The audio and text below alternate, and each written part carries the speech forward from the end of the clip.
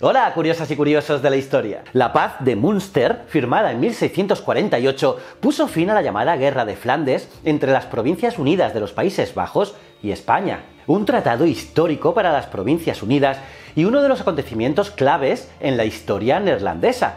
Con él, la independencia de las Provincias Unidas fue finalmente reconocida por la corona española. Y este tratado formó parte de la paz de Westfalia, la cual acabó con la guerra de los 30 años y la guerra de los 80 años. Pero antes de aquello pasó de todo, desde la fluctuación de las fronteras, dependiendo del apoyo de Francia e Inglaterra a las Provincias Unidas y de los frentes que tuviese abiertos España, también la guerra luso-neerlandesa o los ofrecimientos de la corona de las provincias rebeldes a varias casas europeas además de algunas conferencias de paz para intentar reconciliar a las partes, como la de Colonia, auspiciada por el emperador Rodolfo II.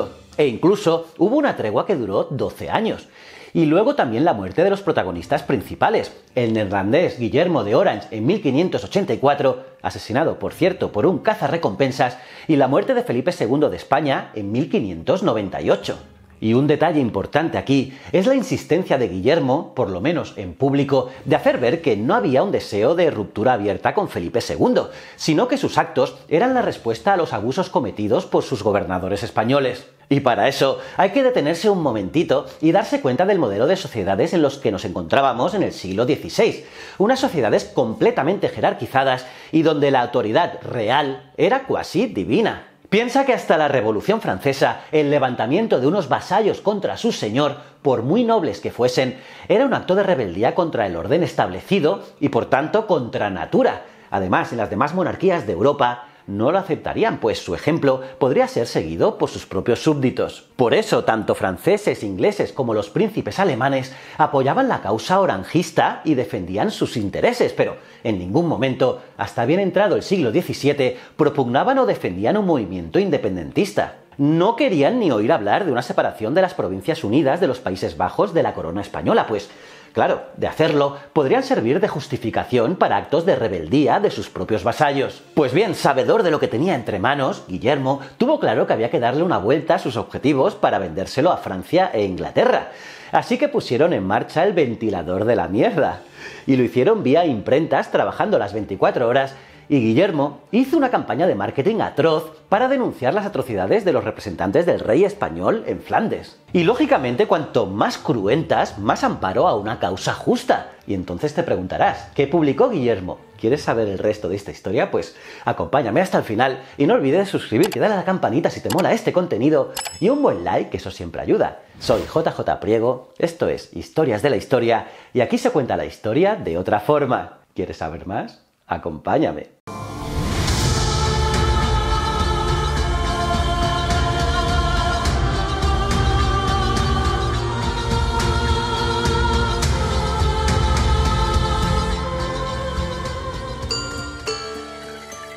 Pues bien, debemos saber que las guerras relacionadas con la religión que se daban en Francia en esa misma época, o los conflictos religiosos en Inglaterra desde Enrique VIII, o los mismos de los príncipes alemanes en época de Carlos I, produjeron persecuciones y revueltas, pero en ningún caso se reivindicó una separación o independencia, pues supondría igualmente un ataque al señor natural y al estatus político de la época. En todos los casos, fuese cual fuese el resultado final, se reivindicaban cuestiones como la libertad de creencia o de culto, pero en ningún caso una separación o ruptura. Pero entonces, ¿qué consiguieron los orangistas, los partidarios de la Casa de Orange, con la connotación religiosa? Pues por aquello de que el enemigo de mi enemigo es mi amigo, el apoyo de luteranos, calvinistas y hugonotes. Pero entonces, ¿por qué se ha presentado siempre como un proceso independentista? Pues porque así les ha interesado, ya que las disputas entre nobles y monarcas, que en ocasiones llegaron a guerras civiles, y las guerras religiosas,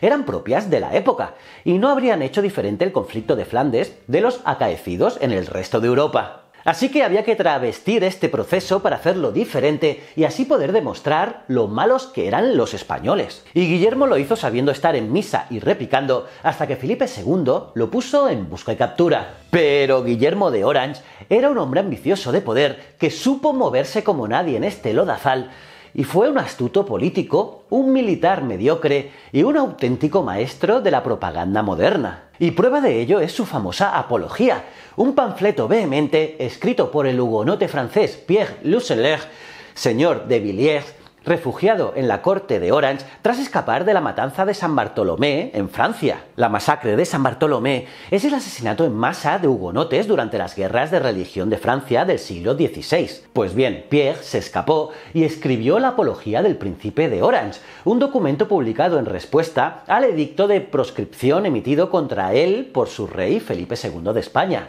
Un documento creado para alabanza, defensa y justificación de lo hecho y dicho por el gran libertador.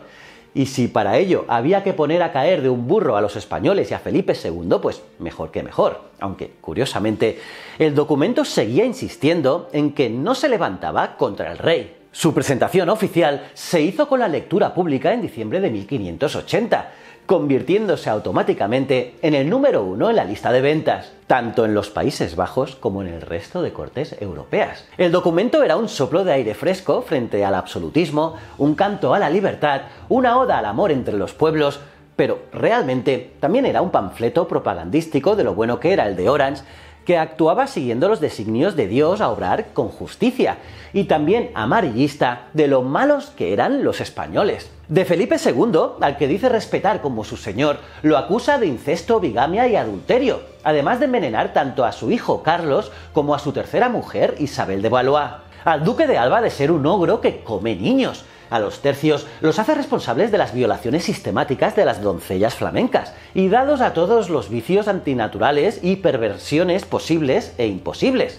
Y finalmente, a los españoles en general de ser gente taimada, traicionera, bárbara, sádica y avariciosa. Esta apología sirvió para fomentar un sentimiento común de solidaridad entre los distintos territorios que abrazaron el protestantismo en Europa, y en fuente de inspiración para muchos otros panfletos y libelos. De esta forma, a finales del siglo XVI, tomó cuerpo y se consolidó esa caricatura monstruosa del demonio del mediodía y de los españoles. Y como señala Joseph Pérez en La leyenda negra, se utilizaron los tres argumentos empleados para desacreditar a España los ataques personales contra Felipe II, el fanatismo, la intolerancia y el oscurantismo de los españoles y la matanza de indios en América. Y en ese mismo sentido, se pronuncia el estadounidense Philip Wayne Powell en Árbol de Odio, donde enumera algunos aspectos básicos del origen del pecado español. En primer lugar, el terror y la envidia que provocó la hegemonía española en la época. En segundo lugar, el antagonismo de aquellos que quisieron disputar su poder a España en el dominio del Nuevo Mundo. Y en tercer lugar, la difamación de figuras importantes, de instituciones como la Inquisición y de actuaciones de la corona española. Y en cuarto lugar, la unión de todo lo anterior para dar lugar a una propaganda de descrédito creando una imagen negativa de España. Y en quinto lugar, una rápida e indiscriminada aceptación de este anti-españolismo no solo por parte del pueblo, sino lo que es aún peor, por parte de los intelectuales. En resumen, hicieron que se diesen todas las condiciones necesarias para que se generase el fenómeno las acciones necesarias para llevarlo a cabo y un factor imprescindible para su éxito, la rápida aceptación del mensaje como si fuera palabra de evangelio. Y con todo esto, no justificó a la corona española que sí realizó atrocidades como todas las grandes potencias de esa era, pero lo que está claro es que, sobre todo por parte de neerlandeses e ingleses, muchas veces se empleó descripciones escabrosas y exageradas mientras ignoraban comportamientos similares a otras potencias. Una leyenda negra española de los siglos XVI y XVII que es aceptada por la mayoría de los académicos. Por ejemplo, el historiador Charles Gibson la describió como la tradición acumulada de propaganda e hispanofobia según la cual el imperio español es considerado cruel, intolerante, degenerado, explotador y santurrón por encima de la realidad. Y nada más curioso, ¿Qué te ha parecido toda esta historia? ¿Sabías algo de ella? Déjame saber tu opinión en los comentarios y no olvides suscribirte, darle a la campanita si te mola el canal y por aquí te dejo otro vídeo histórico que debes de ver sí o sí, y estos dos son mis otros dos canales. Espero que hayas disfrutado y nos vemos en el próximo vídeo. Ah, y recuerda, el conocimiento es un requisito esencial para la supervivencia. Muchísimas gracias.